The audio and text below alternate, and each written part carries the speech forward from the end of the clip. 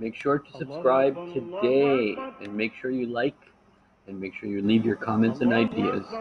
Jazakumullah khairan. Assalamu alaikum wa rahmatullah.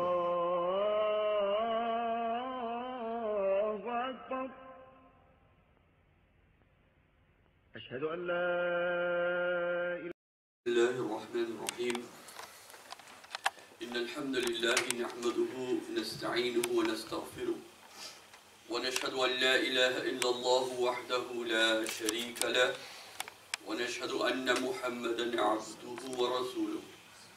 أرسله بالحق بشيرا ونذيرا بين يدي الساءة من يطع الله ورسوله فقد رشد ومن يعصهما فلا يضر إلا نفسه. أما بعد فأعوذ بالله من الشيطان الرجيم.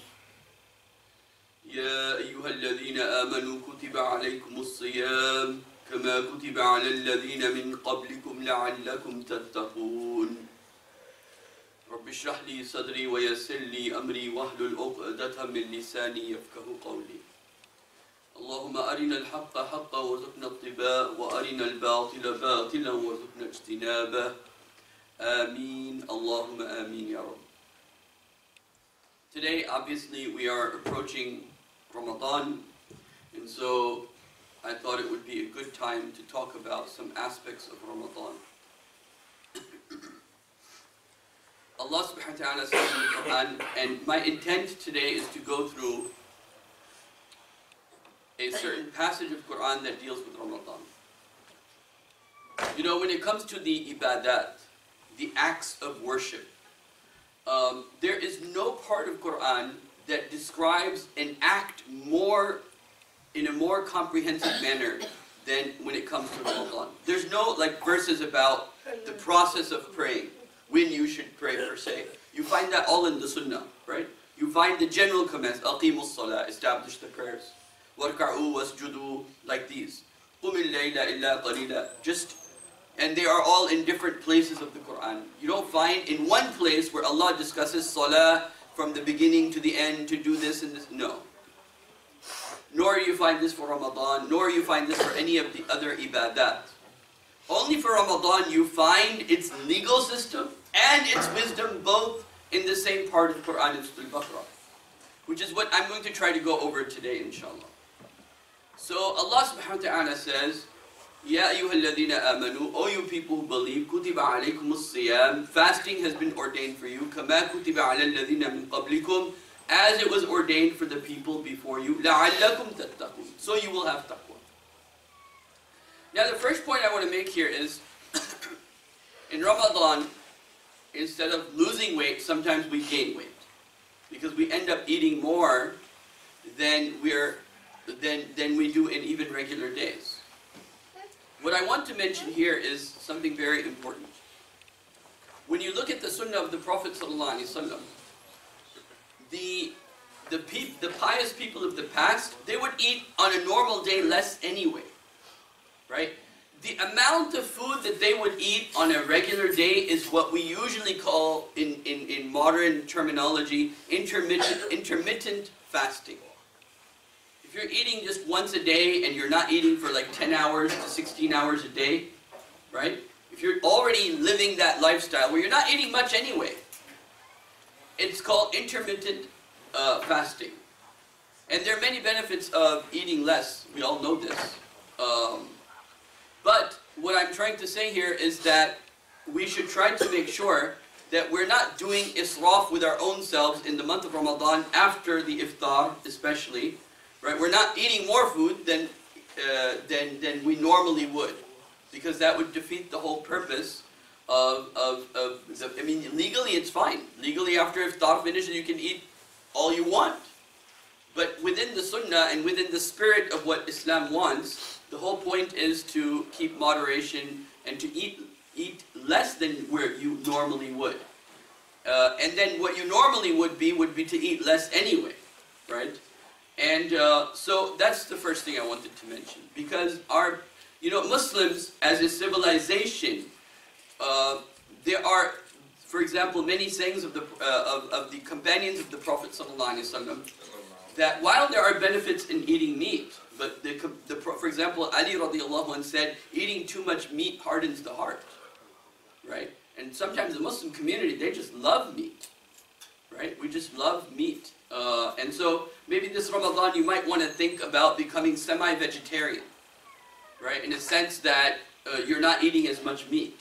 Uh, and, and, and as, uh, you know, the end times come, and, and I don't know if any of you know this, there was a big, the biggest study, the biggest study of cancer that was done was called the China study. Maybe some of you are aware of this. The China study basically says that the biggest cause of cancer is meat.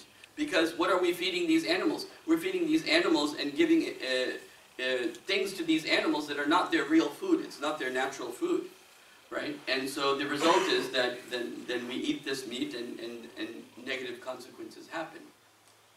Having said that, Allah subhanahu wa ta'ala says, Kutiba alaykum siyam fasting has been ordained for you. Now, kutiba means to write down. Something has been ordained. And this is one of the terminologies Allah subhanahu wa ta'ala uses in the Quran to, to let us know that something is fard. How do you know something is fard? Well, there is a certain way Quran talks, and when Quran talks in that way, it let us know that something is fard upon you.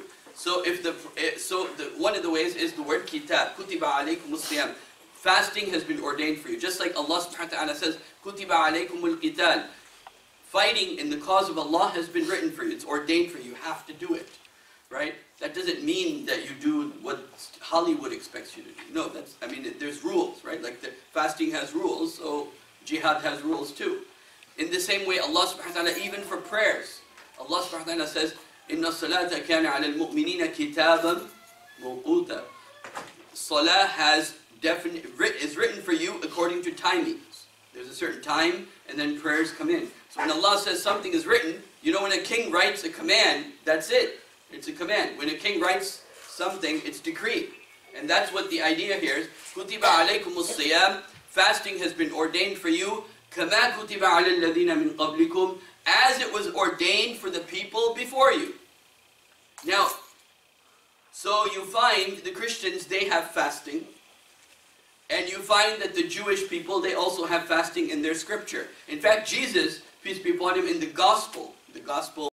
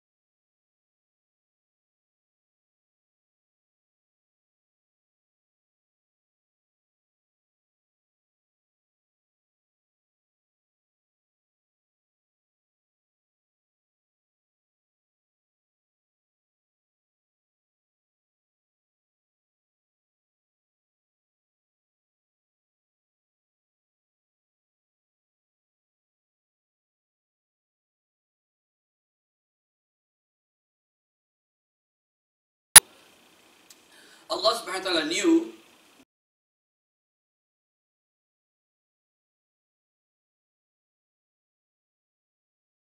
But there's still a lesson in this, and that is that we should still talk less. We should still learn, because the fasting is, just, food is one aspect, which is the fard aspect. But it still means that you should have better akhlaq, you should ha- still have fasting in all aspects of your life. With your tongue, with your eyes, with your ears, right? You should have fasting with all aspects of your of yourself. And Imam Ghazali talks about this in great detail. That that when you look at the sunnah of the Prophet ﷺ, if fasting is an ibadah and you're in a state of ibadah, right, then you should be reading more Quran, you should be doing more dhikr, you should be getting less angry. That should automatically be there. Nowadays we just think that, oh, just do the surface, right? Rather than the deeper aspect, we just do the surface. I'll just not eat for X amount of hours and then I'm done. That's, that defeats the purpose. This is why the Prophet said, sallallahu alaihi wasallam, "Kam min sa'imin." How many people will fast? they'll have nothing but sahar. They'll have nothing but hunger. They'll have nothing but hunger because they weren't in the spirit of Ramadan. They weren't in the spirit of fasting. And one of the things about this is that a lot of times our intentions defeat us. And what I mean by that is that a lot of us enter Ramadan with the intention, I'm going to be very good in Ramadan, but as soon as Ramadan is finished, I'm going to change. We enter Ramadan with this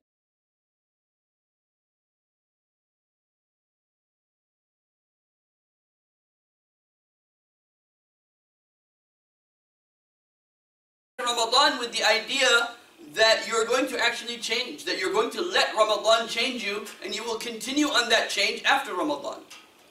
Otherwise, your whole intent, you know this, this thing about intentions. See how much time I have. I don't think I'll finish the passage today, but I'll mention a few important points about this. But intentions are extremely important. And we're actually beginning to learn about this in psychology more and more. You know, there was a time, because the Sharia doesn't require you to per se make an intention before every salah and before, but when you look at our pious predecessors, predecessors, like Kitabun Niyah, the book of intentions, right? Let me just share that with you a little bit. I, if I had time, one day I would like to go over some of these writings with you of our classical scholars. But like if you're going to a masjid, you can have many good intentions. Not just one good intention, but many good intentions. You go to the masjid with the intention that Allah, I make the niyyah that I'm going to go to the masjid to meet your, your, uh, you know, your, your servants. I go to the masjid with the intention of making you happy, right? I go with the intention of uh, fulfilling the hadith of the Prophet ﷺ, where the Prophet said, ﷺ, أَيْنَ يَتَحَابُونَ لِجَلَالِ Where are those people who meet each other for my sake, and my sake only? Right? So whenever you're doing anything in your life, you can have more than one good intention. The Prophet said, and, and the most authentic out of all of the ahadith, out of all of the sayings of the Prophet, out of all of the sayings of the Prophet, the most authentic saying, meaning the one that has the most, you know, you could say, uh, authentic narrations and everything behind it, is the hadith that's very famous. إِنَّمَا الْأَعْمَالُ بِالنِّيَّةِ Actions are by intentions. And some of the pious predecessors, they talk about you can have one, two, three, four good intentions for doing one act. And this actually helps purify your intentions. So even if you're like going into your car, you can have the intention of, oh Allah, I'm going into my car to do something halal, right? To get food for my, my family. So you can have good intentions, you can purify your intention for anything that you're doing, for any amal, for any action. You could do that. And so the same thing is for Ramadan. If your action, if your intention deep down subconsciously is what? That I'm going to enter Ramadan and I'm going to change, and then after Ramadan I'm going to change back. If you enter Ramadan with this intention, then you have kind of like defeated the whole purpose of entering Ramadan. And so subconsciously, even though we all have it, right? We all have it deep down that I'm going to become better in Ramadan and then I'm going to become not so good. So how do you overcome that? You overcome that by making an intention. By, by, by intentionally sitting down, either you can verbally say it or in your heart you say it, however you want to do it, but you have to say it to yourself that no, I'm going to let this Ramadan change me completely and fully. And I'm not going to change back after entering this Ramadan. So the one thing that you can do sitting here today is make the intention that when Ramadan comes, I'm going to change for the sake of Allah subhanahu wa ta'ala. And I'm not going to change back, but I'm going to keep moving and pressing forward. Right? And Ramadan is that month that the Prophet used to pray. Allahumma ballighna Ramadan. I mean, there's another, uh, the more authentic version, uh, which is Barak lana fi Rajab wa Sha'ban. Oh Allah, give us barakah in Rajab and Sha'ban. Wa ballighna Ramadan. And make us reach Ramadan. It's, it's like was the desire of Prophet, if you've reached Rajab, then you're asking Allah, Allah give me life at least till Ramadan. Anyway, the point is that we're entering into this month. It's a sacred month. And the Muslims need this month because the Muslim community is in a lot of difficulty from all over the, from every direction.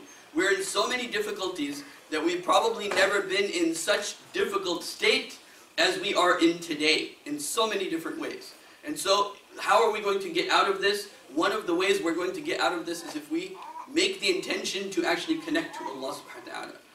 That whatever the fitans are around us, whatever the difficulties are around us, that our only way and our only escape is to Allah subhanahu wa ta'ala. That's our only, it's our only way out. It's our only way to, to find redemption and to find salvation in the situation that we're in. So Allah subhanahu wa ta'ala says, Ya ayyuhalladhina amanu, O you people who believe, kutiba alaykum as-siyam, fasting has been ordained for you, kama kutiba ala alladhina min qablikum, as it was ordained for the people before you, la'allakum, perhaps, la'alla means perhaps, you know when a king says, perhaps I'll give you this. Perhaps, I, but what the king means is yes, I will. But he, to, in order to show that it's still in my control to give it to you or not give it to you, he uses the word la'alla, perhaps. Perhaps we will give you some taqwa. We will give you some God consciousness.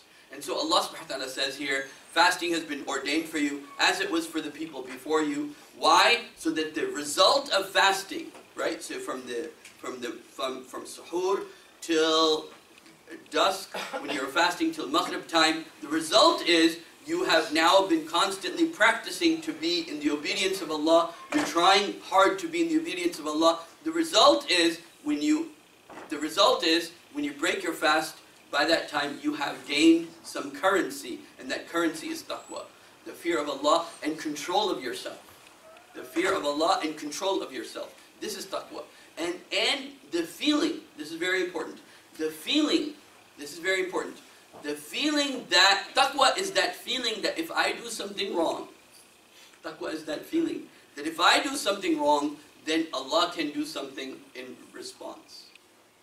That feeling that Allah will do something in this life or the next life if I do something wrong. You say, taqillah, fear Allah. Not like you fear the cops necessarily, but you know that if Allah is watching, that Allah can take action for your action. Allah can take action for your wrong action. This is taqwa. It's the consciousness that I'm, and you're aware you're doing something wrong, and because you're aware you're doing something wrong, you now have a fear. Now that I did something wrong, I have to repent, I have to do tawbah, I have to change, I have to help myself to become better, because if I don't, then there will be a reaction by Allah subhanahu wa ta'ala. Allah is watching me, there will be some accountability or some act, reaction to what I'm doing. Inshallah, I'll continue in my second khutbah. أقول قولي هذا أستغفر الله لي ولكم ولسائر المسلمين والمسلمين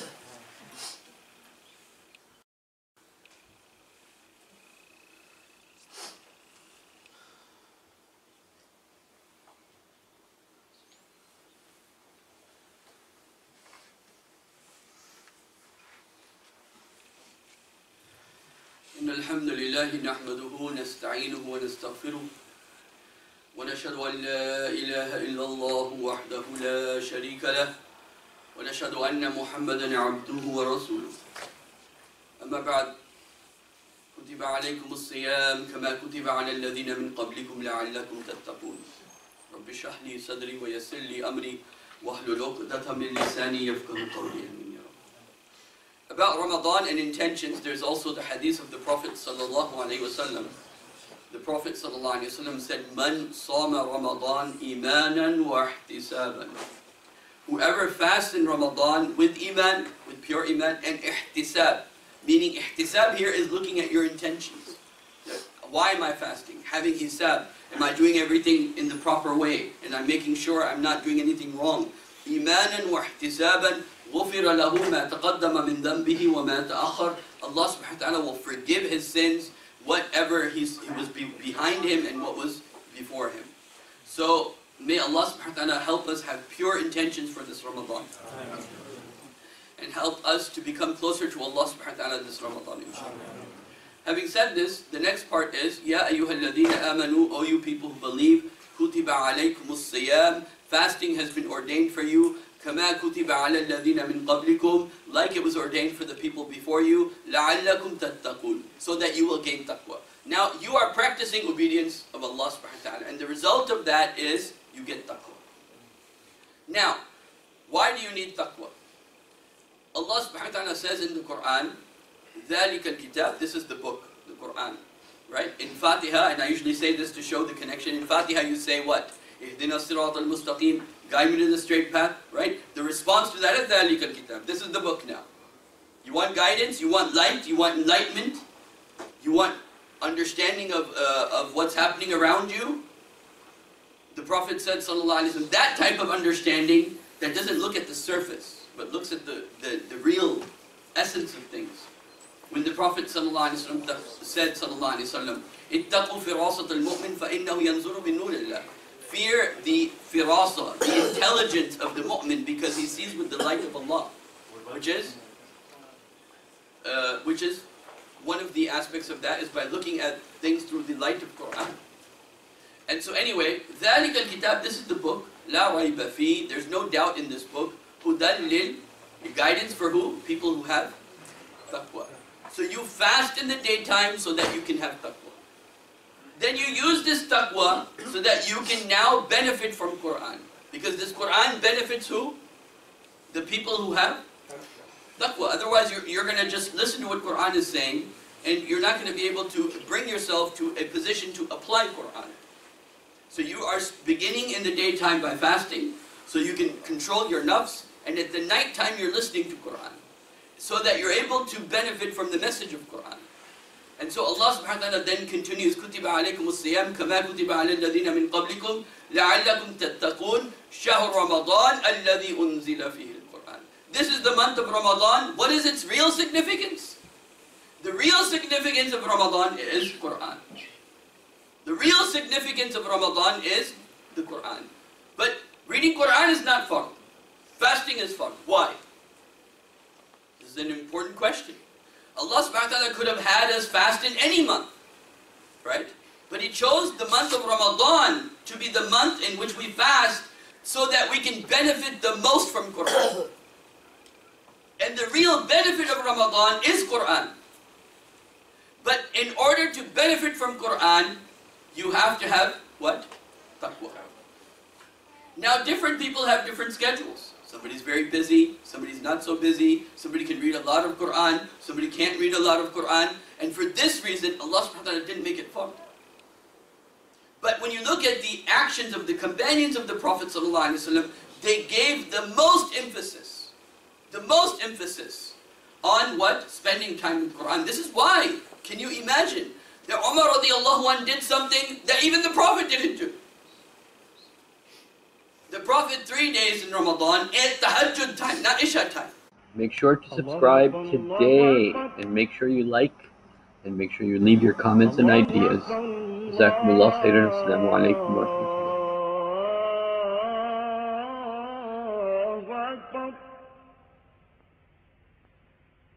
أشهد أن لا إله إلا